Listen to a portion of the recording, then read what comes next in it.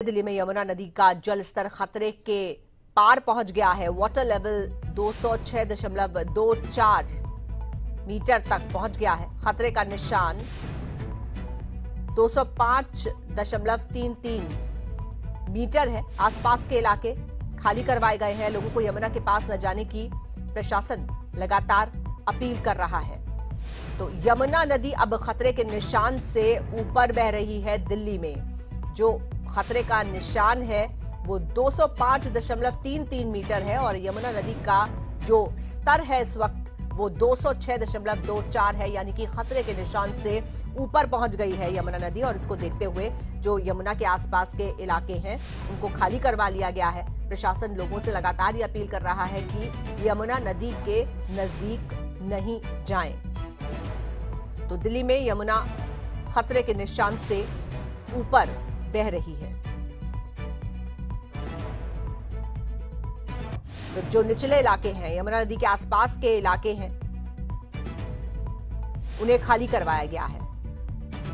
और आइए सीधे रुख करेंगे अपने दिल्ली संवाददाता विनय सिंह का। विनय, अभी क्या जानकारी है और क्या स्थिति है? यमुना का जो वाटर लेवल है, वो खतरे के निशान के ऊपर पहुँच गया है। ऐसे में वो लोग जो सबसे ज़्यादा इससे प्रभावित हो सकते हैं, उनके लिए क्या कदम उठाए गए?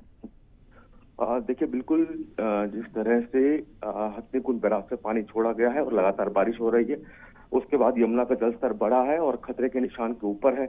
और इसी के एहतियातन दिल्ली सरकार की तरफ़ से जो यमुना बेल्ट के आसपास के लोग रहते हैं उनको वहाँ से हटने के लिए कहा गया है ताकि आ, किसी तरह से जान का नुकसान ना हो और हिदायत दी है कि कोई यमुना के किनारे ना जाए ताकि आ, जो यमुना का लेवल लगातार बढ़ रहा है उससे लोग बच सके।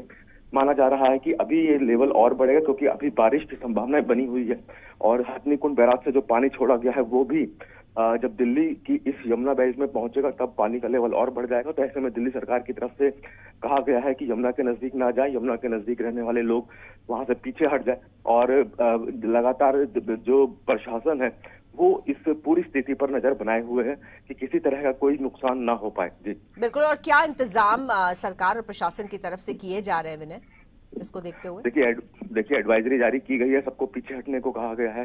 जमुना के नज़दीक किसी को जाने को नहीं कहा गया है। बकायदा वहाँ पे बोट की व्यवस्था की गई है 25 से 30 बोट यमुना बेल्ट के अलग अलग छोर पे लगाई गई है ताकि किसी तरह से कोई आ, किसी कोई उसमें डूबता हुआ दिखता है या फिर किसी तरह से यमुना में जाता है तो उसको रोका जा सके। तो फ़िलहाल इस तरह के बचाव के जो कदम है दिल्ली सरकार की तरफ़ से उठाए गए हैं। जी।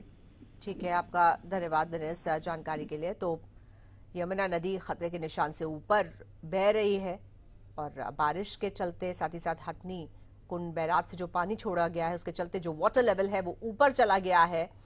खतरे के निशान से, जिसको देखते हुए प्रशासन ने एहतियातन आसपास के जो निचले इलाके हैं, जो यमुना नदी के आसपास पड़ते हैं है? लोगों को वहाँ से हटने की सलाह दी गई है और लोगों को ये भी